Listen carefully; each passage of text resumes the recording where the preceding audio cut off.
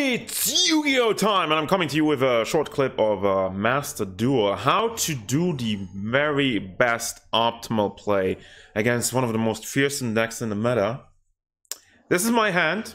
What am I going to do with that? My opponent decided to go turn one. Stand by phase, main phase one. Oh no, into the void. Whatever might he do about that? I don't know. I just draw a Lockbird and...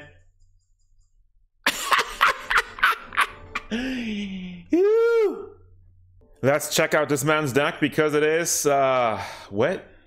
All right, game says no. Well, it was Exodia. That's how you beat it. Draw Lockbird for the win.